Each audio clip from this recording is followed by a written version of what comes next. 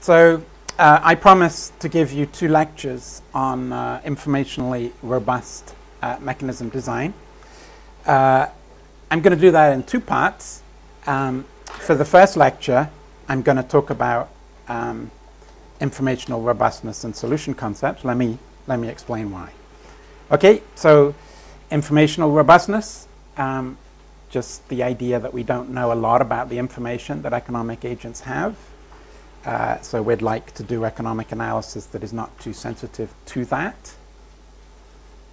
Uh, it turns out that thinking about informational robustness uh, is going to, uh, you know, many different ways of trying to think about informational robustness are going to end up being equivalent to thinking about uh, something about uh, solution concepts in game theory.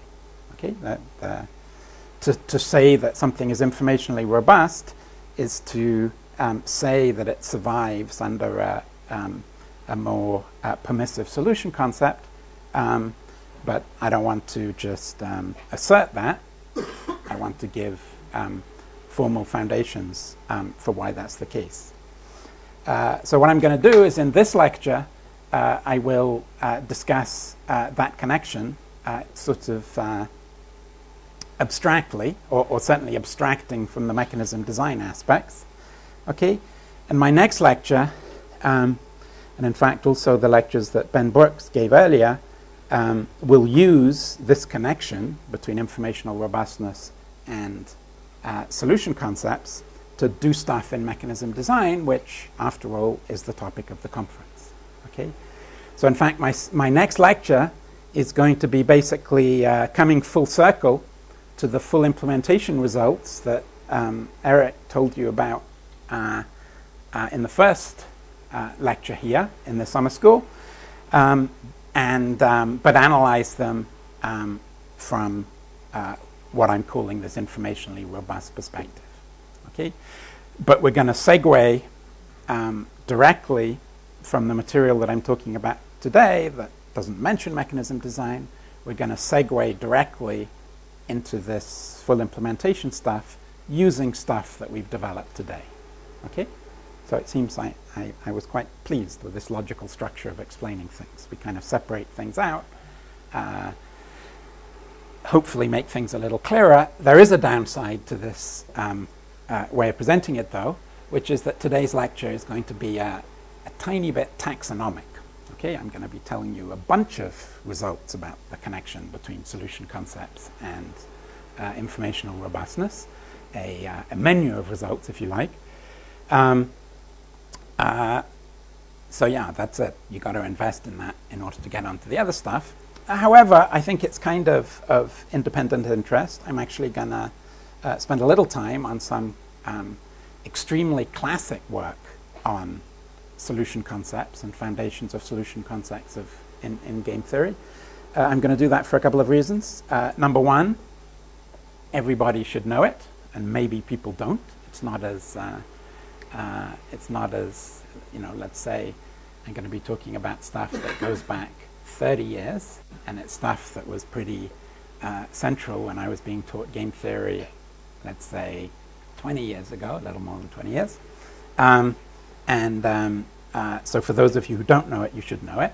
And a second reason for doing the foundational stuff is because once I've um, told you that, or reminded you of that, depending on, um, it's going to be the case that all the rest of the um, sort of taxonom taxonomical stuff that I told you about, uh, I'm going to be able to talk you through, uh, mostly in words, um, because the arguments are just extensions of these classic results. Okay, so if I've told you or reminded you of these classic results, it's going to be, the idea is, is it's going to be very easy to go relatively quickly through a bunch of stuff, this taxonomy-like business, that is going to be important.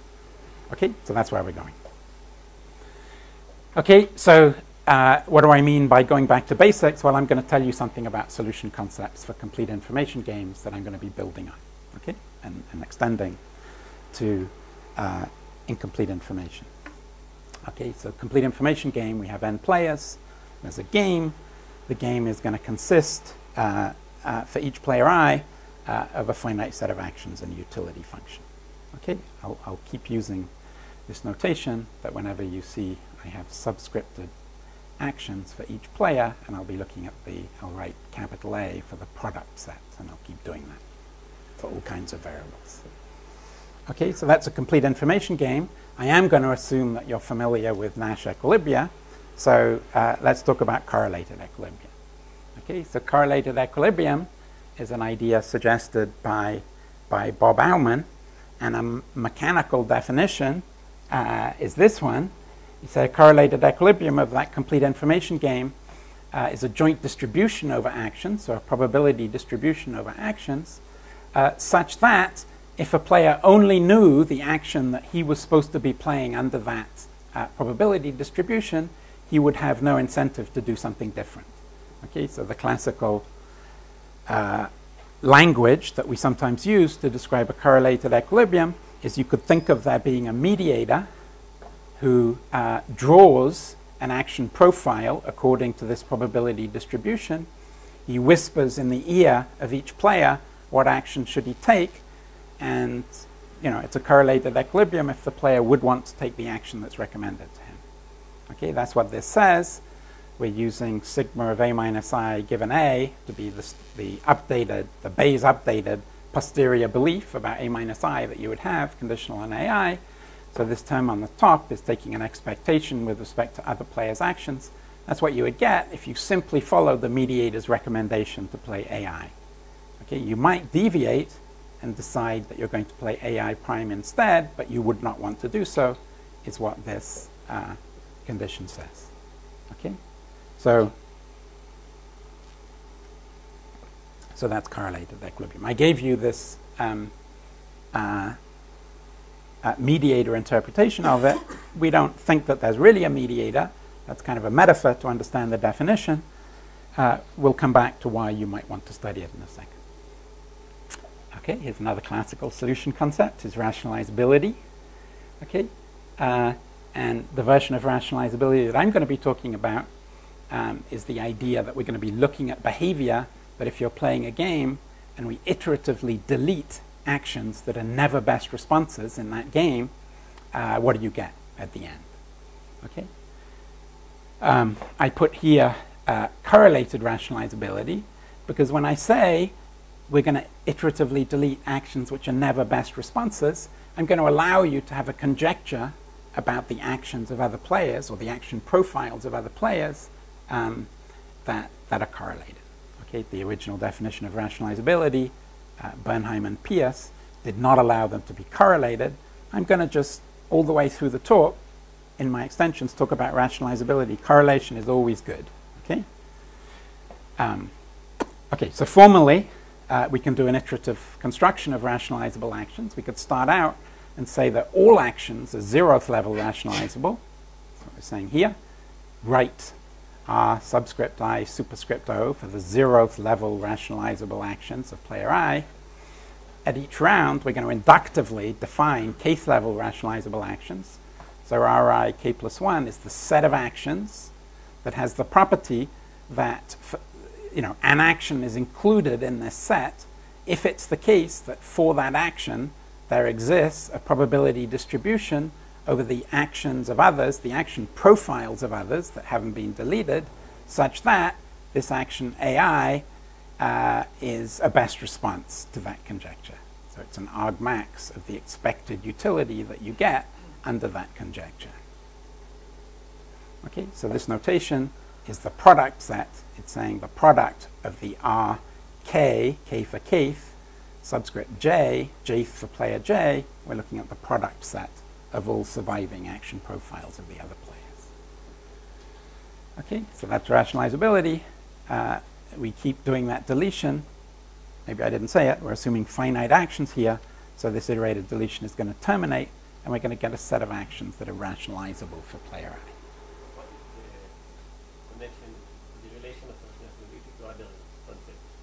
We're going to do that, I guess. Yeah, we're going to exactly do that. That's the point.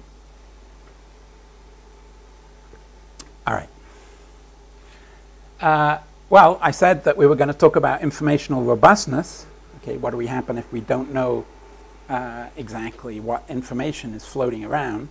Okay, um, well, here's a way of thinking about, uh, you know, a special uh, uh, restrictive uh, little informational robustness exercise, which is that we could say, um, let's just add information to this original complete information game. Uh, that's complete information, so they kind of know everything in the first place. There's only so much information that you can add. What you can add is a correlation device. Okay, so it's a sort of extra information. Payoff irrelevant information I've written here, but that's like adding something to the game. Okay, so let's call it an expansion of the game. We're adding stuff to the game. We're going to specify for each player I some new stuff. What's that stuff going to be? Well, it's going to be a finite set of possible signals that the player can observe, extra stuff that he observes about the game. And there's going to be a probability distribution over the signal profiles of the player that uh, uh, each player is going to have in his mind. You know, in this case, I'm writing it in ex ante terms. So before the, the signals are drawn, this is the beliefs that the players have um, uh, about what the signal profile might be. We're allowing them to be different. Okay. Oh, sorry. We're going to maintain a full support assumption, which is that we're going to say under this prior probability distribution, it is the case that every signal of every player is given, um, that each player I gives positive probability to each of his own signals. That's what this says. Okay? This is the probability he gives to his signal Si and any other signal, if we sum across his signals, we'll call that phi of Si as the notation, and that must be Morgan's Okay. Okay, so in doing this, we have constructed a game of incomplete information. Sort of degenerate game of incomplete information, but a game of incomplete information because players have observed these extra signals. Okay. A special case, which is going to be important, is going to be the case where you um, impose the restriction that these different beliefs that the players have over the joint distributions of signals um, is we could uh, impose the restrictions that they've got to be the same across players. Okay, stand, an assumption that we kind of make um, uh, all the time in, in economics and game theory. I'll discuss a little bit later. Actually, I'll discuss in my Arrow lecture a little um, my Aumann lecture, my Arrow lecture, sorry, my Arrow lecture, I'll talk about um, uh, a little bit of the philosophy behind it, but, but you know, it's an assumption that we make. Yeah. I'm sorry? Uh, it's a tiny bit with, with loss of generality. Um, the issue is that if there were signal, is that once I do, once I describe the result, um, I will. The important, why it's important is if you don't have the common prior, okay, so in that case it's important that there's some uh, restriction on players having the same, um, the same set of signals that they think possible. There's actually a paper by Brandenburger and Dekel where some of this rational, rationalizability stuff that I'm going to talk about, where they do um, something related. This is you do need this in some sense for what they do. They do something related, but you need some version of this. All right. Um, all right. So cool. This is adding a correlating device, kind of a standard thing to do. I, am going to, as a matter of language, sort of think about it as adding information, information that happens to be payoff irrelevant in this case. Okay? So we've constructed an information game, a kind of degenerate one. Um, in an incomplete information game, a strategy changes. Now, a strategy is a function of stuff that you know, in this case, your signals. So, a pure strategy will now be a mapping from sets of signals to, um, for player I, uh, of the actions that you play. And the uh, definition, the completely standard definition of equilibrium in the incomplete information game generated by adding this um, expansion or correlating device the definition of Bayes-Nash equilibrium. This is an interim definition of Nash equilibrium, conditional on your signal.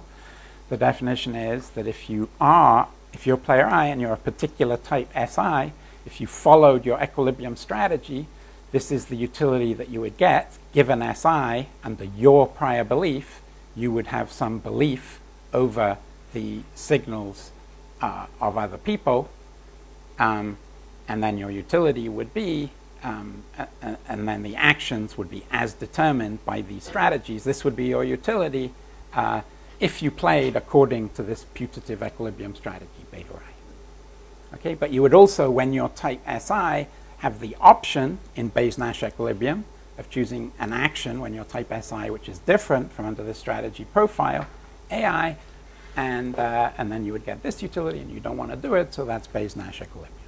Okay?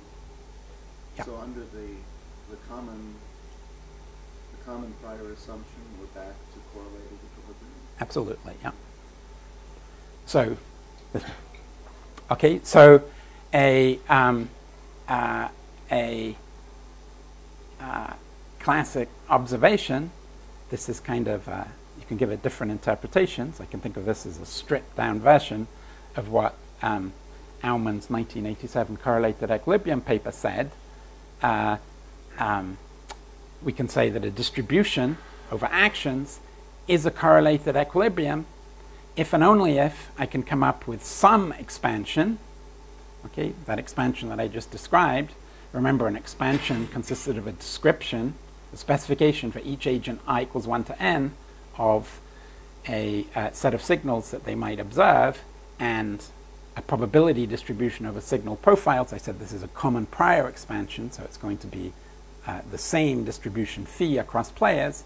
And we want to say, um, uh, yes, it is a correlated equilibrium only if we can come up with some common prior expansion and a Bayes-Nash equilibrium uh, such that if they play according to beta, the joint distribution over actions generated is a correlated equilibrium.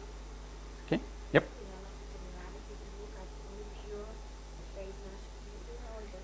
It is with, without loss, yeah. Yeah, we could write things a little differently. Yeah. Yeah.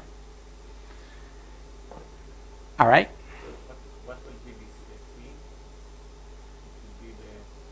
The interpretation that I'm giving it right now is that some extra information that is available to the players. It is a correlating device that they observe. It, it's going to play exactly the role of the mediator that I just described. I'm giving it a slightly different interpretation, which is that it's not that there's some external player who's making action recommendations to them. It's that there's some signal that they observe coming from an exogenous correlating device. You'll, this says that there's not a lot of difference between the two, but you know. Okay, and this is not going to be a mathematically deep theorem. Okay, uh, like I said, we're going to be discussing extension, so let's get the logic straight. Okay, so the basic, uh, the basic point here is straightforward. It's just saying that to the extent that you have, it's like, as, as uh, Ben was hinting actually, it's like a revelation principle uh, in the, in the uh, in the context of playing a game. Okay, so we're saying, okay, suppose it was the case that we started out with a probability distribution that was a correlated equilibrium. Okay, if I want to show that there is an expansion such that you're playing a Bayes-Nash equilibrium of that game that generates that distribution, very easy. Set the set of signals equal to the actions. This is like a revelation principle. Um, do that for each player um, and let the probability distribution uh, over signals be exactly the distribution uh, sigma over actions that we started with. But we've identified signals with actions. Okay? So now we can consider the strategy profile in this constructed incomplete information game where you just uh, set your action equal to your signal, but remember, actions have been identified with signals. And this is going to be an equilibrium exactly if it induces sigma well, it's going to induce sigma because, uh, uh, sorry, it does induce sigma um, exactly because they're basically both the same distribution. We set phi equal to sigma. Okay? Very easy. No, no real content there. It's going to be just a tiny bit of content going in the other direction. Uh, so how's that going to go? We're going to say, consider an expansion of um, uh, an arbitrary common prior expansion of the underlying game and a Bayes-Nash equilibrium of that expanded game, and suppose that it does uh, induce sigma, I want to show that sigma is a correlated equilibrium, well, we can write down the equilibrium conditions for beta in the expanded game. Okay, I'm going to find it useful to write down the uh, ex ante version of those equilibrium conditions. Okay, I wrote down the interim one before. Now think about the ex ante version, where we say before I've observed my signal, is it the case that I want to follow the strategy beta i? Okay, so this says, so now we're taking the um, expectation over all signals, but I can write this as um, the probability that, that player i is type Si times the conditional probability. Okay, so obviously this is just the ex ante probability. Uh, so this is his expected utility ex ante before he's observed his signal if everybody follows that strategy profile. Okay, and now we could imagine him deviating. Deviating how? Deviating by choosing a different strategy, call it beta i prime, in the incomplete information game, so a strategy specifying for each uh, signal what action do you choose. Okay, that's what we're saying here. Okay, because you're choosing beta i prime instead of beta i. But, and here's the, uh, um, uh, but now we can say what is the ex ante utility that you are getting uh, um, uh, under the strategy profile, okay, well, we can just rearrange it and just say instead of taking the summation over signals, we can take the summation over actions, uh, ui of ai, a minus i, and then we can take the sum over the, so this is just um, changing the order of summation, uh, take, uh, maximize over, um, you know, if we fix the action profile, then we can sum over the probability of signal profiles under which, under the strategy prof under these uh, strategy profiles beta at signal profile S, we play action profile A. Okay, so this is just changing the order of summation. But now if we define sigma AI A minus I to be um, this expression here, okay, so the ex ante probability that you observe signals where under the incomplete information game you are choosing action profile AI, okay, then I can write it this way. Okay, and this looks familiar. That's what we had in the um, original equilibrium. This is your utility if you follow the mediator's recommendation in the original game. Okay, and indeed,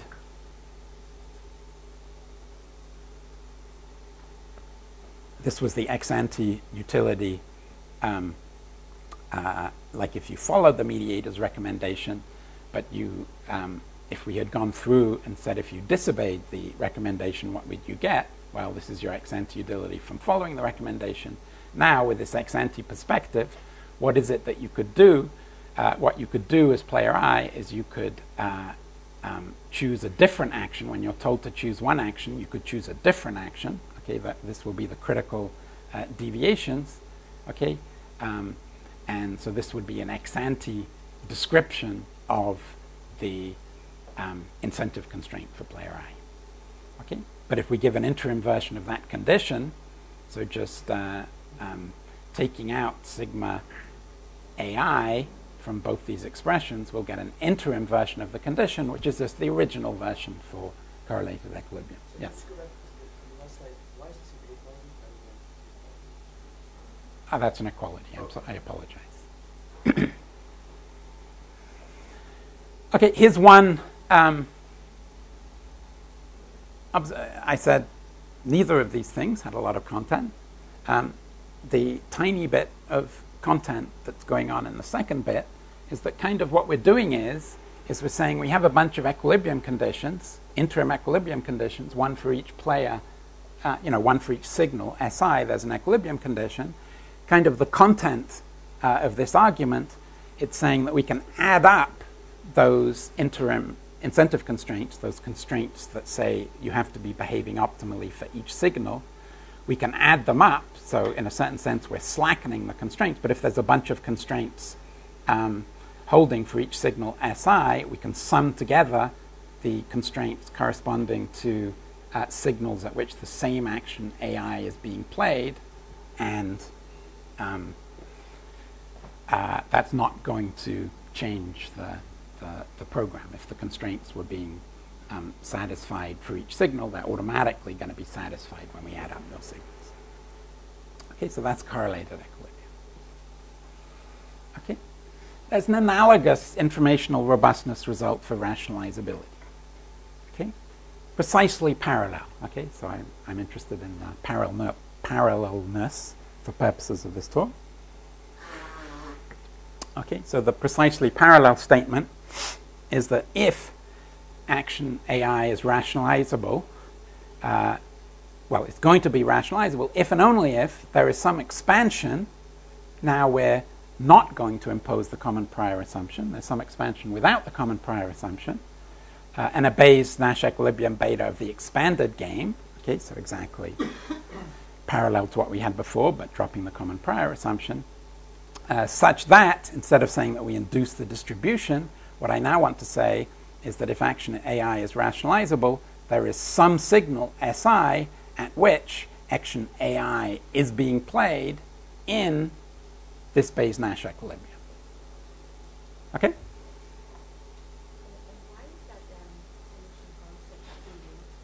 Why is it?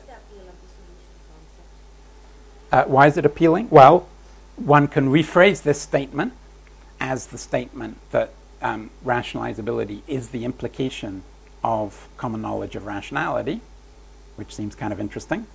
Uh, and, you know, basically just a change in words is going to say we're looking on a type space where um, uh, everywhere it's optimal um, to play according to the strategy. So it's, so it is the implications of common knowledge of rationality. And we can rephrase this event as saying if there is a common knowledge event where everybody is always playing a best response, then this is saying that's the implication of that.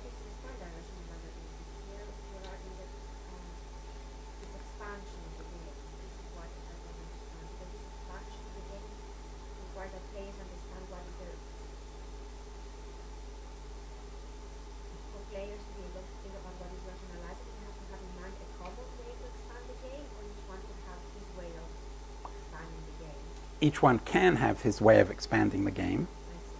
Uh, and that's important because if you simply say what are the implications of common knowledge of rationality, there's nothing that's imposing uh, the common prior. What, what is the meaning of common knowledge in this context, in which there's no unique universal state space? Each has his own release.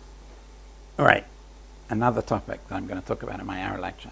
Um, here's what I'm doing today. Let me just back off a second. Here's what I'm doing today. Today, I'm just giving you these narrow interpretations of these two classic results that say, take the complete information game, ask what happens if you just impose the uh, equilibrium assumption of Bayes Nash equilibrium when you've observed this extra information.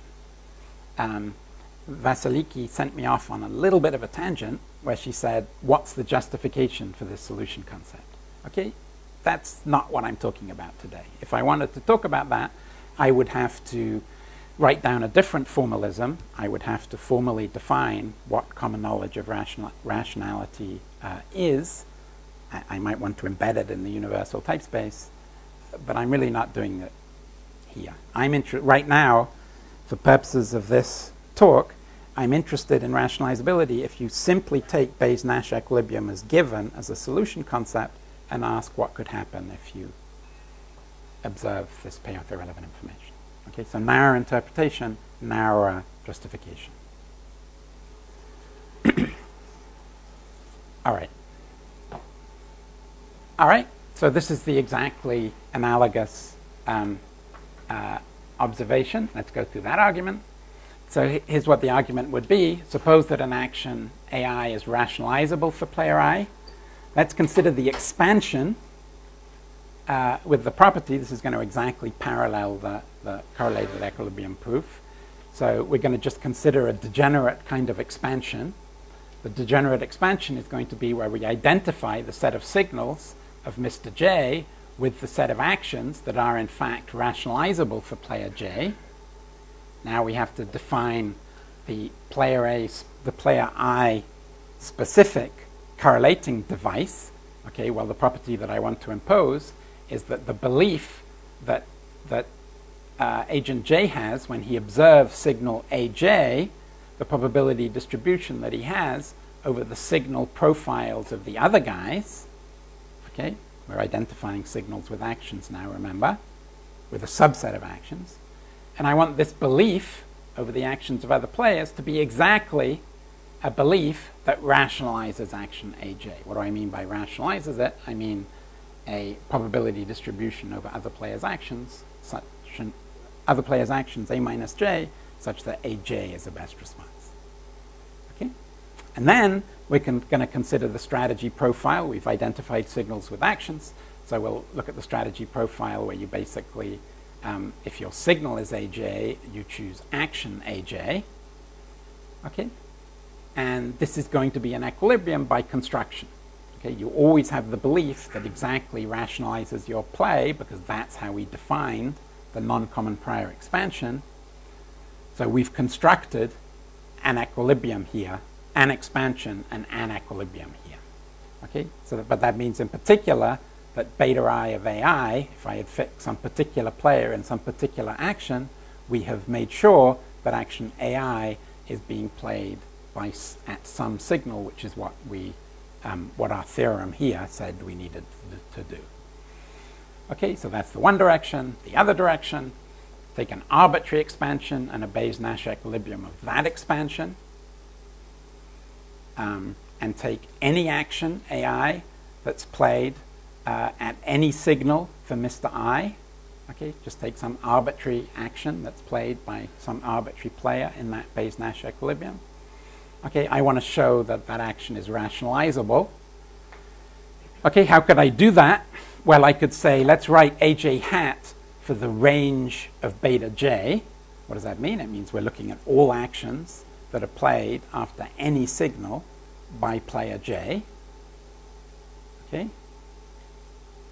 So that's this definition here. Any action of player j that gets played by some sj. Okay? Clearly, any action AJ in AJ hat, any action that's played by some type in the support, um, is going to be a best response to some belief over the um, uh, uh, actions that are being played by other players. Okay, that's a property of Bayes-Nash equilibrium. There must be some belief floating around such that it's the best response. Okay, so but if it's the case that every action of player J in AJ hat is a best response to some belief over a minus j hat, uh, then if I do this iterative deletion process that I described, then this set aj hat for each player is always going to be there. It's always going to be there at every round k. So, uh, um, uh, so that being the case, uh, we're going to have this inclusion. So the original AI that we started with um, is going to be rationalized. Yes. You've talked about rationalizability in terms of iterative deletion of strategies that are never best responses, but yeah. since there's correlation here, you could have done it. You could have done the iteration for uh, strategies that are not strictly. Um, exactly. I guess for your purposes, the, the best response formulation was easier because you wanted to make the connections phase. Precisely. Well, it's both easier and it's what I'm going to care about for the extensions that I'm going to do. Yeah, so, so famous equivalence between saying an action is never a best response and the action being strictly dominated. Okay, so maybe we more often hear that an action that survives iterated deletion of strictly dominated strategies captures common knowledge of rationality. But that, that's only true with correlation. it's only true with correlation, absolutely. So I have the same answer about correlation. So correlation is important both because it gives you this equivalence and because it's what's going to matter for where I'm going. Yep.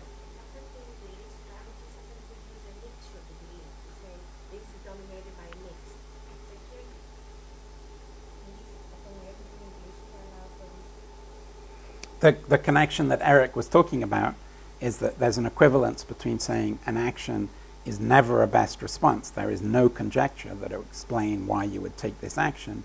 That is actually equivalent to saying that an action is, um, uh, is not strictly dominated, and in that case, it's important that you say by a mixed strategy. There's a duality argument that lies behind those things, and it is strict domination with respect to a mixed strategy that crops up when you do that duality argument. Yep. If you the prior you get subset of the rationality strategies. What is that subset? Uh, it's the subset. I don't know. So it's uh, they're in different worlds, by the way. So uh, you know, the correlated equilibrium was a distribution over actions. Rationalizability was a um, a profile of actions.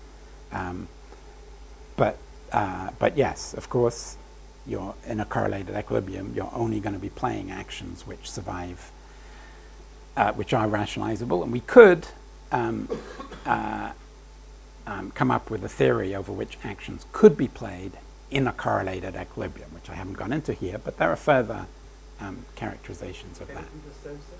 It can be the same set if the game is a famous example, which actually is going to crop up in my talk today, is if the game is supermodular or a game of um, strategic complementarities, then um, so I want to choose a higher action if I think other people are choosing a higher action. In that case, if you do iterated deletion of strictly dominated strategies, there's going to be an a largest and you know this is assuming an order structure on actions.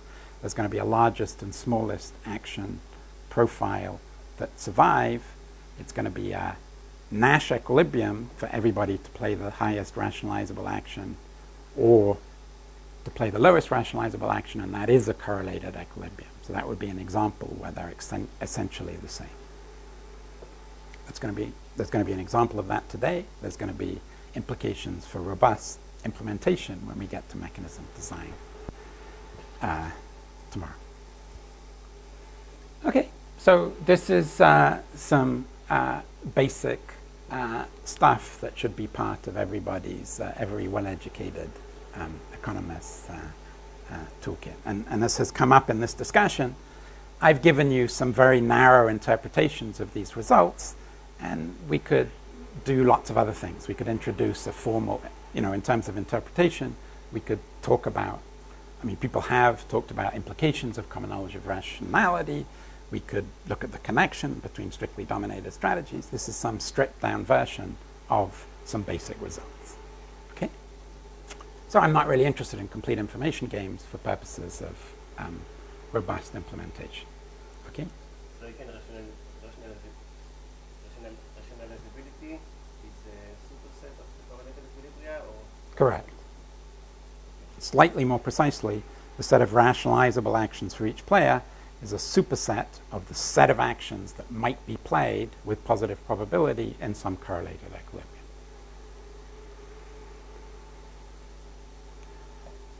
Okay, so what I really want to talk about today, none of this is very interesting in the concepts of implementation. I mean, Eric talked in his first lecture about implementation in Nash equilibrium. Uh, incidentally, if you had talked about implementation under rationalizability, full implementation under rationalizability, you get essentially the same answer.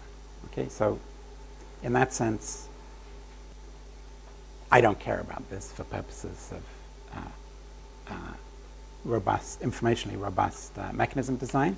Uh, I care about it because I'm interested in the extensions to incomplete information. Okay, so let's do an extension to uh, incom- incomplete information. And I'm going to do this in two steps. We could do it one step at a time, by the way, but then I said this was taxonomy, and there would be even more things that we would have to be dealing with. So, but there are two, I want to highlight that there are two steps here. Okay, the first step is that we could take that original environment and I could add in some uncertainty. Okay, so I could say, suppose there are some additional states of the world. Uh, there are some states of the world theta, um, and, and there's uncertainty about which state, what might be the true state that's determining payoffs. Okay, and a game now will be a teeny bit more complicated. It'll still be the case that for each player there's a set of actions, but now the utility functions of players will have to be made contingent on this new state of the world. Okay, so this is adding uncertainty. If I want to add uh, incomplete information, I want to allow players to be differently informed okay, then we will also want to add information about the uh, states, payoff relevant states theta. Okay, well, we can model that with a type space as a standard kind of way of modeling that. I don't want to, again, this common prior assumption is going to be an issue for me. We can assume it or not assume it. So let's not assume it for a second. So we could say that for each player i, there's a finite set of types, uh, capital Ti, um, uh, but also, and, but, and each player i, Ti is just like an index set. Um, uh, but we're also going to want to have a belief, pi i, which is going to say for each type of player i, we're going to associate a belief over the types of others, t minus i, and the payoff relevant states of the? So this language famously allows you to embed um, all possible beliefs and higher order beliefs, you know, any information structure that you want, Harsanyi us. Okay? And again, as I said, the common prior assumption is going to be an interesting uh, special case. Uh, so the common prior assumption would say, well, look, suppose it's the case that there's actually a true probability distribution over payoff relevant states theta and uh, profiles of types. And then this interim beliefs are just generated by Bayes' rule. Okay?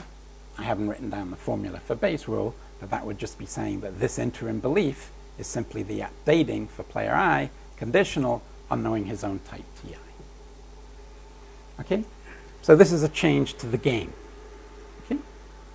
And I'm going to tell you some stuff about what happens if we do exercises that are analogous to these two classical exercises that I described or reviewed for you in this richer setting. Okay? So we'll have an expansion of the game. Okay? We're going to be adding information for a second. Well, here's what the expansions I'm going to analyze. Okay? For each player i, we're going to have a finite set of possible signals si, same as before. Here's a little bit more complicated. We're going to say agent i is going to have some uh, beliefs about how these signals are generated. Okay? What's that going to consist of? Well, it's going to say, suppose the true payoff relevant state was theta, suppose the type profile was T, okay, so this is, you know, we're going to interpret the type space as saying what's the initial information that players have and what happens if we give them more information in an expansion.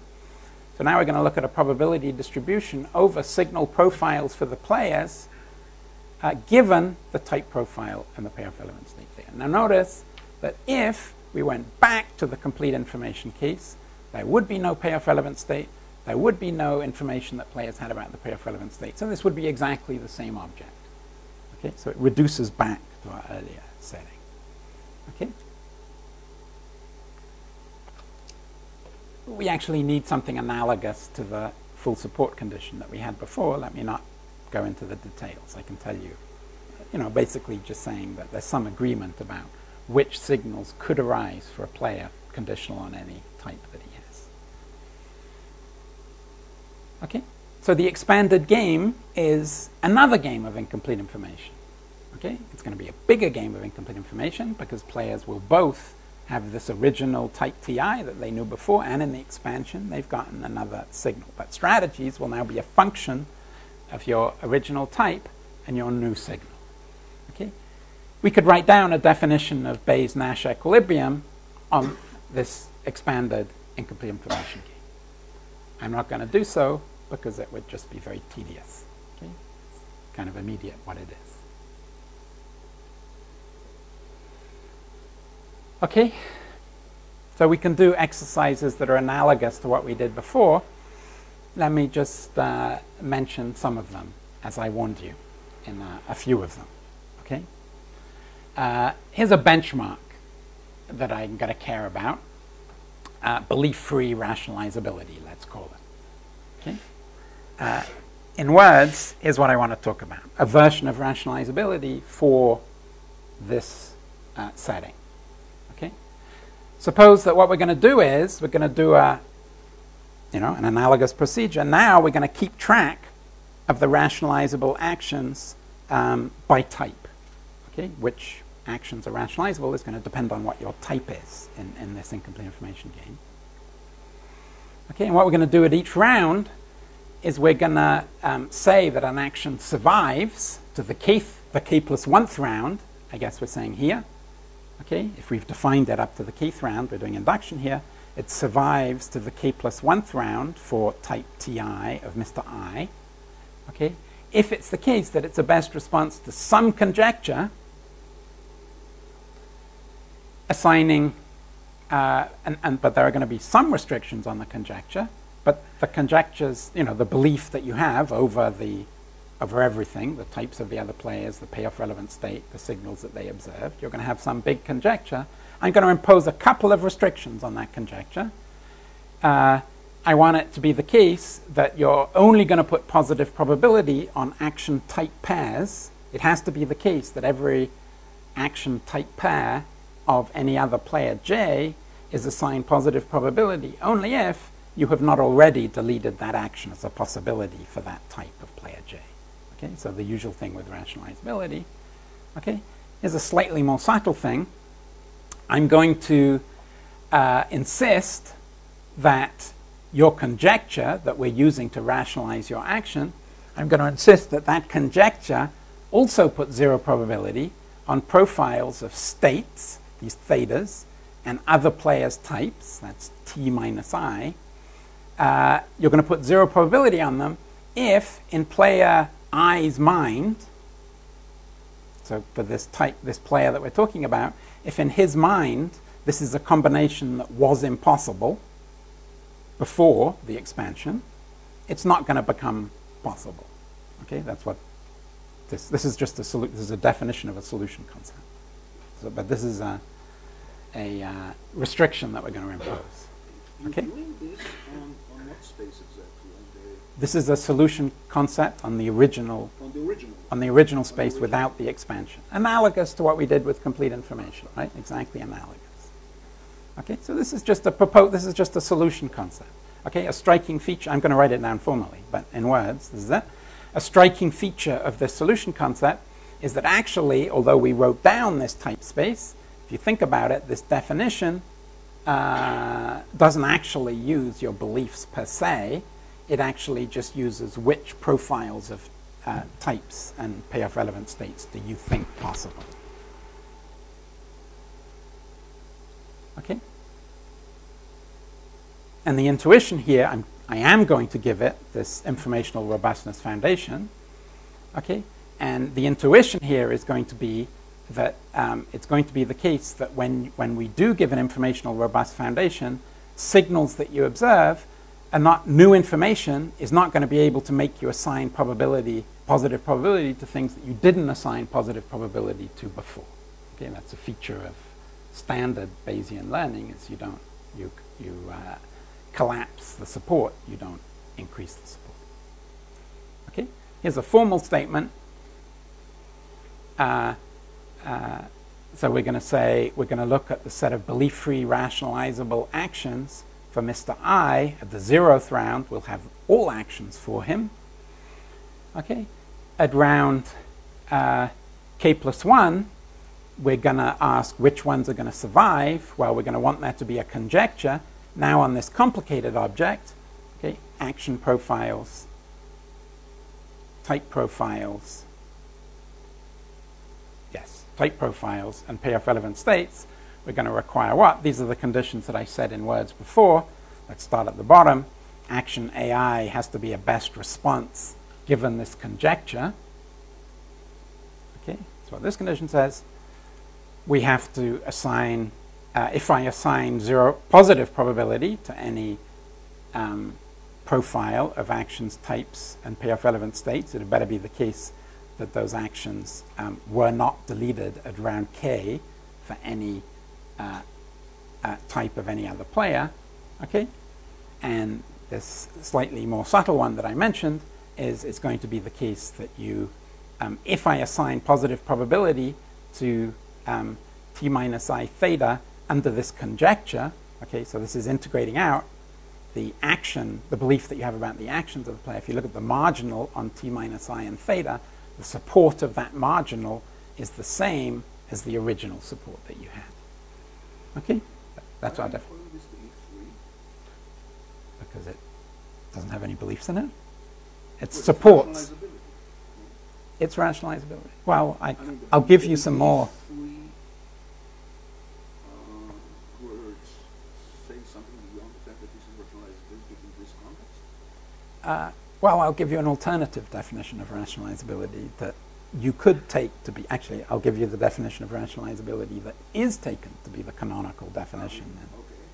I thought this was the one. Okay. I haven't seen this before, actually. So, um, good. So, uh, so that's a definition. Okay, it's belief-free rationalizable if it survives. When you go to infinite rounds, everything's still finite, so this is going to be well defined. All right, and we have an informational robustness foundation. Okay, this one, it's belief-free rationalizable for type TI. It, it says exactly the same thing, right? It's just so as Elchanan says, it sounds like the uh, simple generalization. Is there an expansion and a Bayes-Nash equilibrium of the expanded game with the property that uh, now we've got this TI floating around, but such that the action is played given some signal in this expansion and also TI because belief-free rationalizability is defined for type TI. Okay?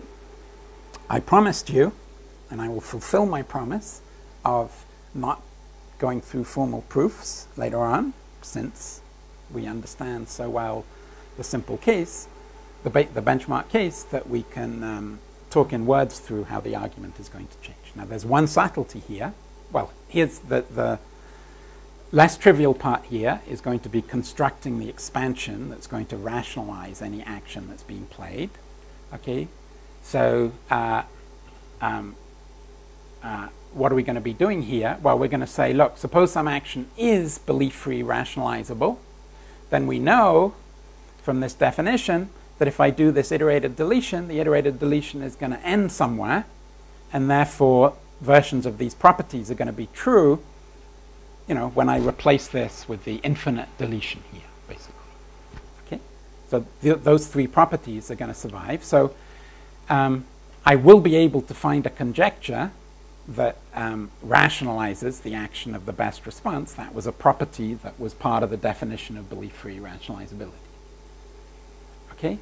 Then we'll be able to construct a signal space, SI, such that if I look at a pair, TI, SI, um, you can make him play the belief-free, um, uh, I'm sorry, where it is the case that um, the action, uh, you know, because of property one, the support assumption, we can construct a signal space where only um, uh, actions of the other player that are belief-free rationalizable are played.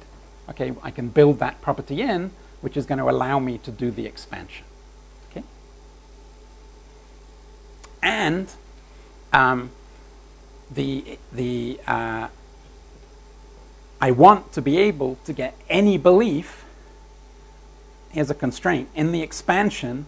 I have to be able to get any uh, new i that satisfies these conditions by Bayes updating using these signals.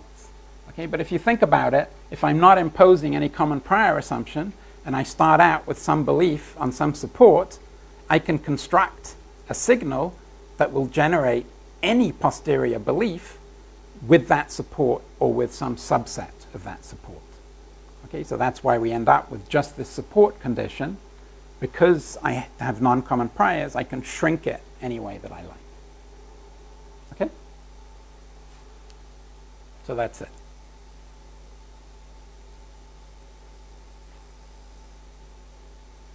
Okay?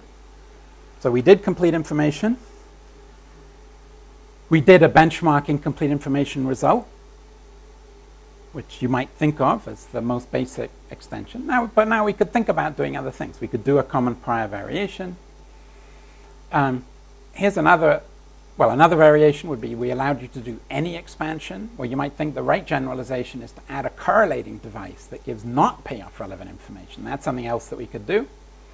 And we could put some extra restrictions on the type space. So this is what we're going to do. Okay.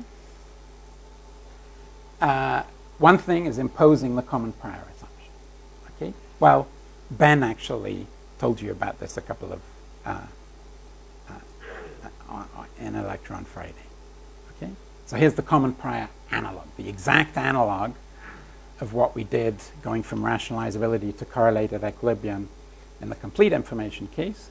Let's do the exact analog in this incomplete information version that I've described. Okay?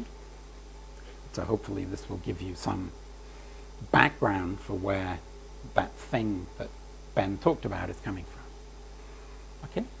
So what I want to do here, I just want to write down the analogous definition of correlated equilibrium with incomplete information to what I had with um, um, complete information.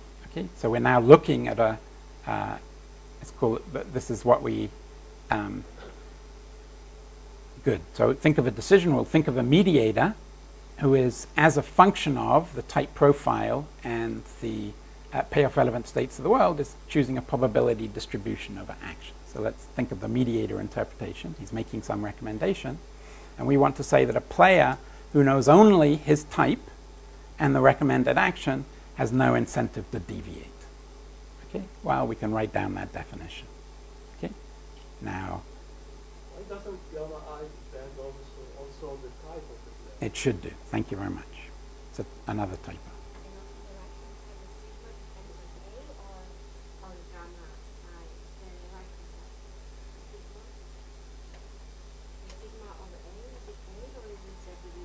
Sorry, I seem to have lots of deviate, lots of mistakes here. Um, so yeah, your deviations can depend on AI and TI, definitely. And then the co correct statement down here is what? It's going to say, no, no, no, sorry. This is saying that you get a recommendation. Sigma is the recommendation that the mediator is giving you, so that doesn't depend on your deviation. He gives you some recommendation, and then you can follow the recommendation or not. Okay, so this should have AI and TI. Okay? And we can give a informational robustness foundation, and this is what it is. I'm going to keep my promise, not go through arguments. Okay? But the exactly analogous statement is that a decision rule is a Bayes correlated equilibrium if and only if we can find a common prior expansion such that um, it induces the right distribution. Okay, and actually Ben went through an argument for that. Okay, but it's the exactly analogous statement. Okay, remember, Ben was talking about some some uh, some game theory and some mechanism design where the motivation was exactly that you're saying the common prior is satisfied. Can I say what would happen for any uh, information structure? Okay, so for any information that players might observe, well, this is going to be the answer to that question. In the context of uh, auction example that he talked about, in that case, the, the initial information was degenerate. There were no initial types TI. We were just saying conditional on the payoff relevant state, which was the common value, what could happen. Okay, but that's, that's this type of exercise. Here's another restriction that we might impose.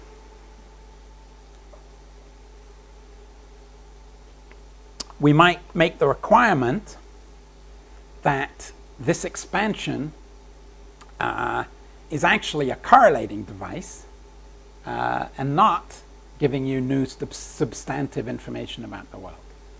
Okay, so, so one way of saying that is we did our complete information result and we said, okay, what is the correct generalization to incomplete information? Well, it's not entirely obvious.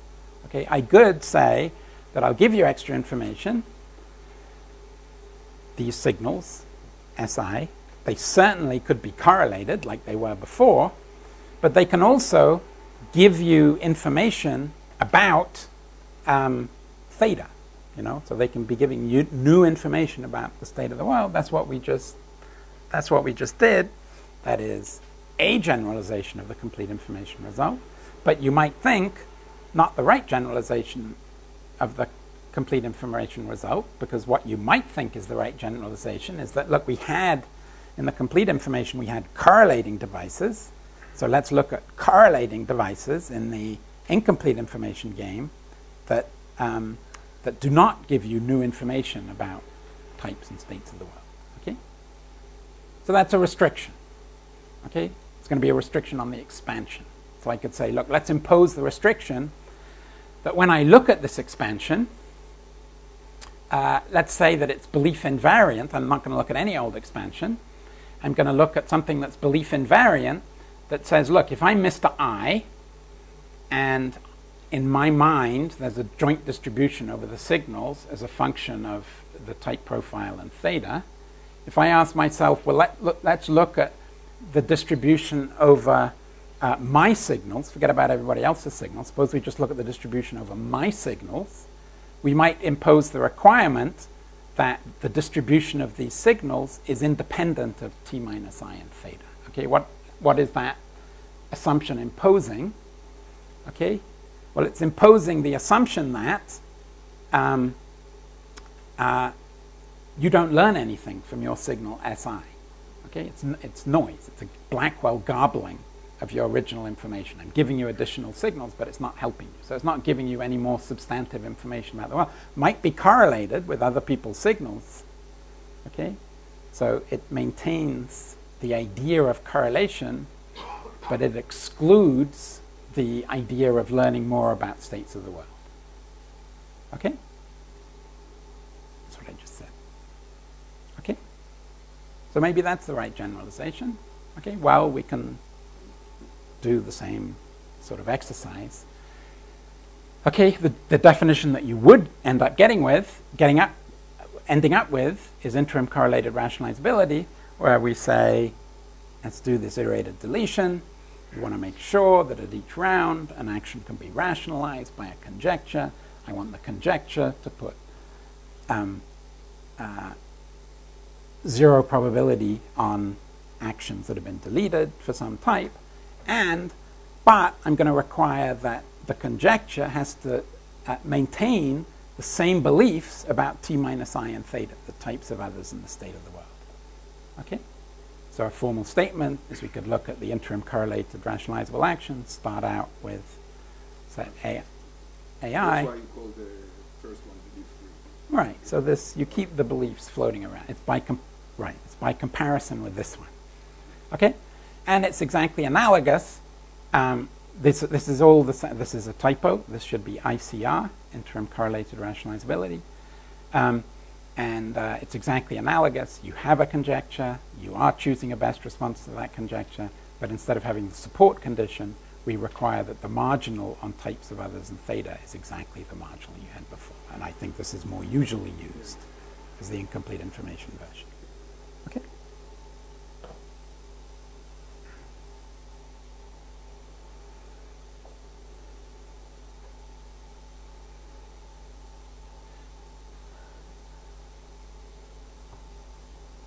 Okay, and then we have our um, informational robustness statement. Okay, um, okay, another way of saying it is that if you have belief invariance, another way of saying it is that when you get an action recommendation, uh, uh, it is the case that the action that you're playing supplies no additional information to you about the types of others in the world. All right. Okay, taxonomy. So we can do a taxonomy. Okay? So just, uh, I like taxonomies, but, you know. So, uh, but just, if you want a picture in your mind, we've said that I can impose the common prior assumption or not compose, impose the common prior assumption. I can restrict your expansion to be um, uh, uh, to satisfy belief invariance, meaning it captures a correlation but not um, payoff relevant information, or I could not impose it. Okay, and we started out with belief-free rationalizability, and we said if you impose the common prior, you get this. If you impose um, belief invariance, you got this. We could have looked at another box, you get that. Okay? Uh, what's relevant? Hmm? Belief invariance. So this property that the expansion is just a correlation device. Okay, one last thing I want to talk about, which is going to be important for um, our mechanism design. Uh, I just gave you results for an arbitrary um, type space, right? Uh,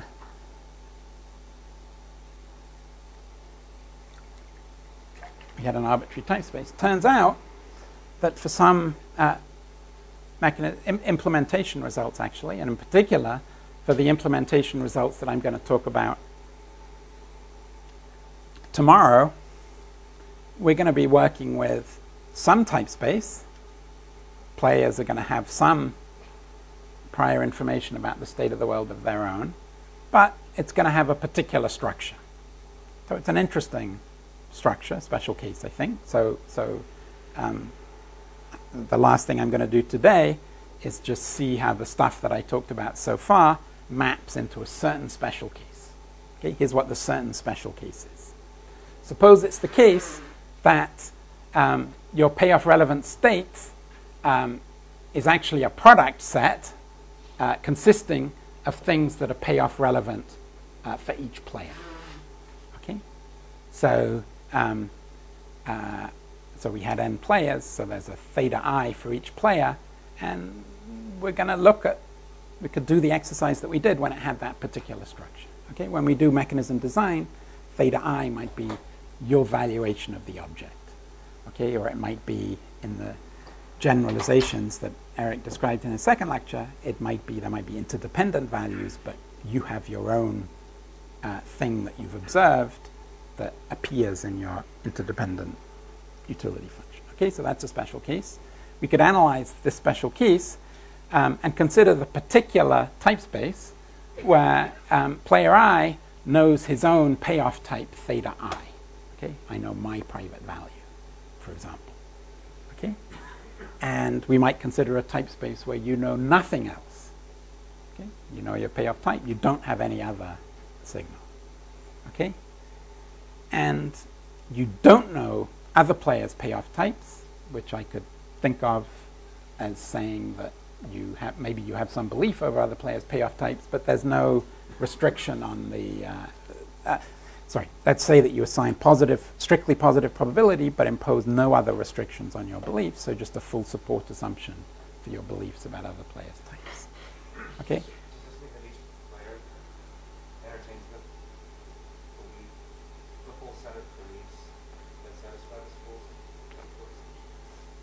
Uh, I'm going to allow you to, I'm going to state results today and tomorrow that hold true for all type spaces. So heuristically, it could include the type space where they allow for any beliefs at all about the types of others. So that would be a natural type space to look for. Okay, I said heuristically because I'm doing stuff with finite types today, but that's sort of a technicality. You could include arbitrary belief. And in particular, we're allowing for the possibility, uh, I mean, importantly, we're allowing for the possibility that you know your payoff type theta i, but you have lots and lots of different beliefs associated with each theta i. Okay? Okay, so belief-free rationalizability is going to translate into this case, and I'm going to care how it translates, so I'm going to tell you how it translates. Okay?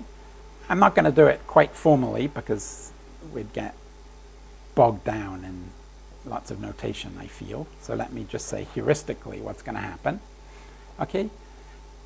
If I look at this special type space, okay, turns out that all I'm going to have to keep track of in terms of your types is all that I'm going to have to keep track of to characterize belief-free rationalizability is for each payoff type.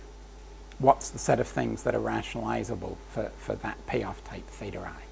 Okay, it's true that if I had different beliefs associated with it well, with it as well, we could get different um, actions being belief-free rationalizable depending on your belief. But what I really want to keep track of is just what are the actions that are rationalizable for a given type at theta i.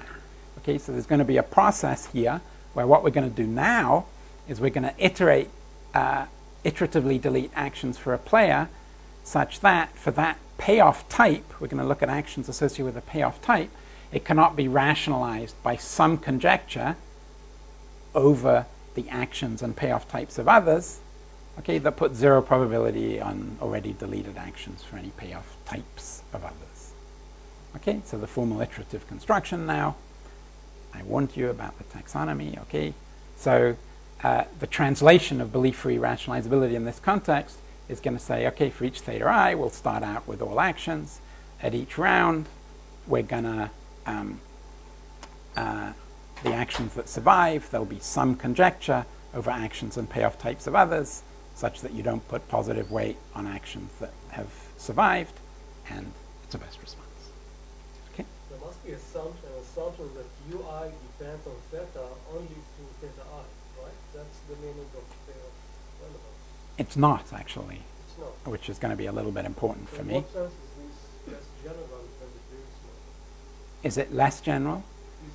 It? Is less general, okay? And this is important, and it's going to come up why it's important. It's less general. One way of seeing why it's less general is that it's saying if you take the player the player's information together, if you look at the join of the player's information, it captures everything that is payoff relevant.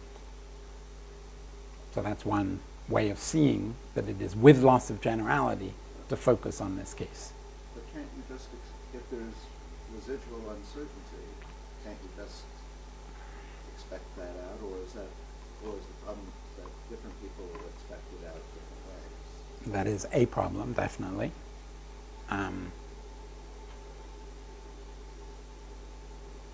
yeah. Uh, okay. Okay, so I'm going to conclude by giving an example, an example that, as I promised, is going to segue into talking about robust implementation next time. Okay? So, and by the way, we could give more examples here, obviously. Um, these example, this example is chosen specifically to, to provide this segue. Okay, and, and it's restricted to the payoff type case because of. So let's think of a game where players have some uh, payoff types uh, in some bounded interval. And suppose they're going to choose some actions in some bounded interval. Okay? And suppose that each player has a best response, okay? Writing the best response slightly informally here. Have the best response where agent I wants to set his action equal to his payoff type, other things being equal. If it was the case that everybody else was setting their actions equal to the payoff type, he would like to set his action equal to his payoff type. Okay, but this says that if other people, for some reason, were choosing actions that were above their payoff type, he would want to choose an action that is below his payoff type.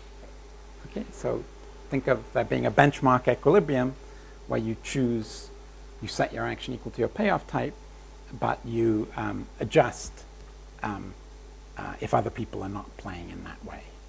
Okay, so this is an example where you do care about other people's payoff types, as it turns out. Okay, so this is a game. We're constraining your actions to be in 0, 1. So subject, this is your best response, subject to it being in the interval 0, 1. Otherwise, you'll, um, you're going to want to go to the boundary. If this is above 1, you, you want to set it equal to 1 if this guy is above 1 and set it to 0 if this guy is below 0. Okay? That's a best response. There are a zillion different ways, lots and lots of different payoff functions that I could write down that would have this linear best response. Okay? One that's going to uh, be of a little bit of interest to me is this one. Okay? We don't, we don't need to parse this one.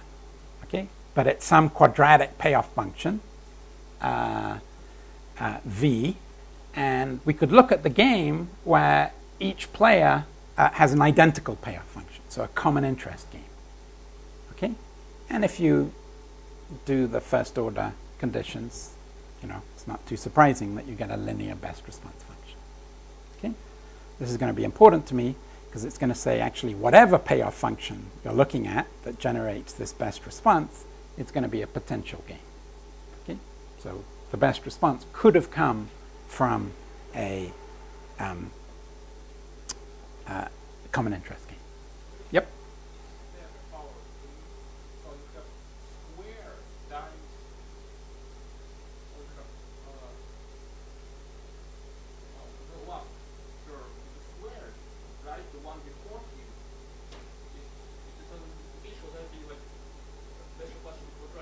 Yeah, that's a typo.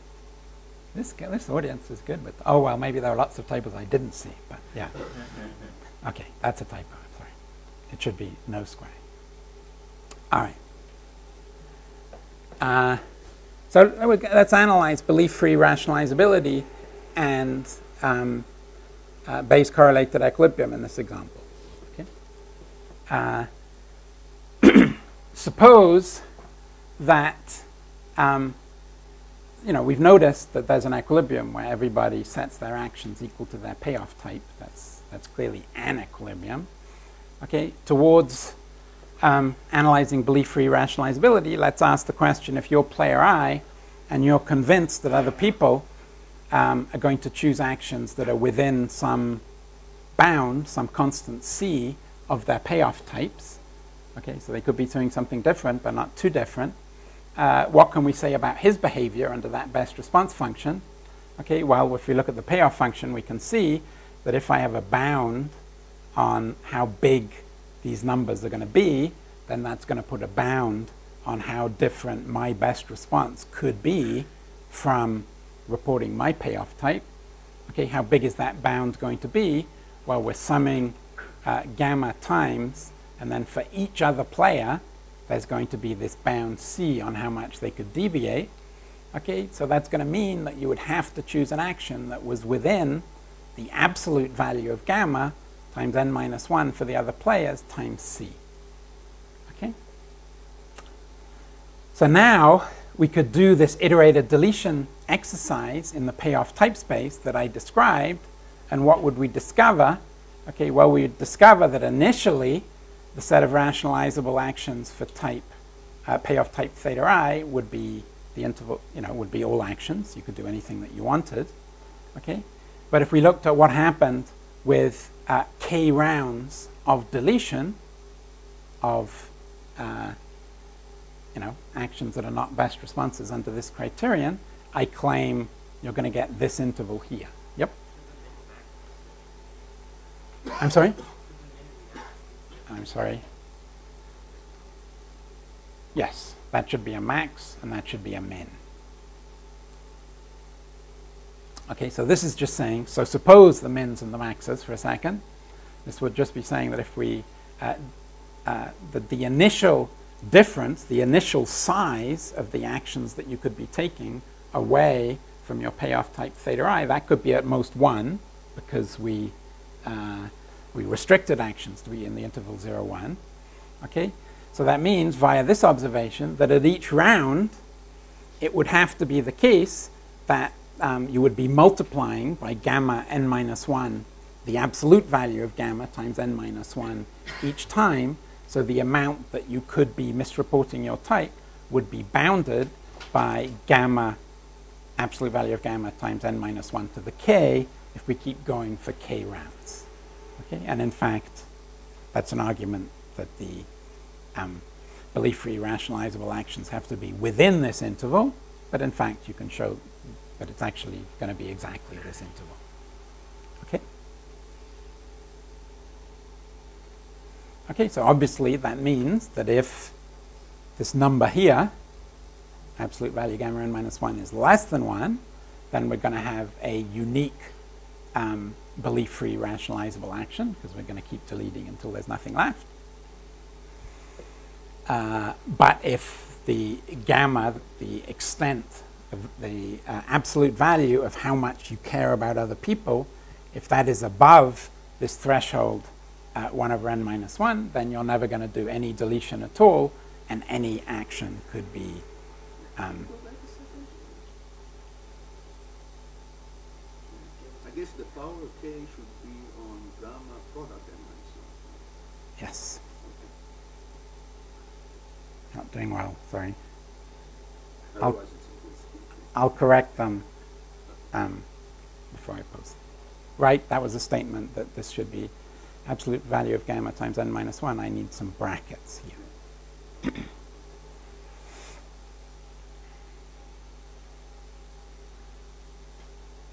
All right, so that's belief-free rationalizability. Uh, let's talk about Bayes correlated equilibrium. Well, let's look at this bullet point first. If gamma is less than or equal to zero, relating back to someone's earlier question, if gamma is less than or equal to zero, we have strategic complementarities. Okay, that's saying if other people actually, so actually if other people report up, you want to report up as well. Okay, um, so it's a game of strategic complementarities, and I made the argument that if it's a game of strategic complementarities, if you iteratively delete actions, the, in order to support an action as being a best response, um, what matters is going to be the highest, in order to, yes, in order to rationalize the highest thing that you can rationalize, you rationalize it by a belief that puts probability one on um, other guys taking the highest possible rationalizable action. But that's a fixed point under a game of strategic complementarities. Everybody choosing the highest possible rationalizable action is an equilibrium. Okay? So that has the immediate implication okay, that if gamma is in fact negative, so it's a game of strategic complementarities, then Bayes correlated equilibrium is going to exactly coincide with belief-free rationalizability. So there will be a unique Bayes correlated equilibrium if the absolute value of gamma is less than 1 over n minus 1. And um, there will be uh, multiple Bayes correlated equilibrium. And in fact, there'll be a Bayes correlated equilibrium where everybody always chooses the highest action 1 and everybody always chooses the highest action 0 if, um, sorry, gamma, this may be confusing, if gamma is less than or equal to 0 and the absolute value is greater than this, that's saying gamma is less than or equal to minus 1 over n minus 1. Okay? In fact, one can show, and I'm not going to go through this argument, uh, I said that this game was a potential uh, game, which is to say, whatever the um, payoff function that gave rise to that best response is, you could have derived that behavior from um, a common interest game, which is the definition of a potential game. Okay, and in fact, this um, uh, potential game turns out to be strictly concave. That payoff function is strictly concave if gamma is in this interval here. Okay? And there's an argument um, of uh, Neyman. How do you say it? Avraham? Avraham? Avraham Neyman. Um, I just don't know how to pronounce it. I know the name. Uh, Avraham Neyman that proves in the context of complete information games, but there's an analogous result here that says that there will in fact be a unique equilibrium if um, there's a strictly concave potential function. Now that, that says that if you have strategic substitutes, there actually is going to be a gap between belief-free rationalizability and um, Bayes correlated equilibrium. Okay? So that's what I wanted to tell you. So uh, uh, next time we'll see that this game corresponds to a full implementation problem. Any questions?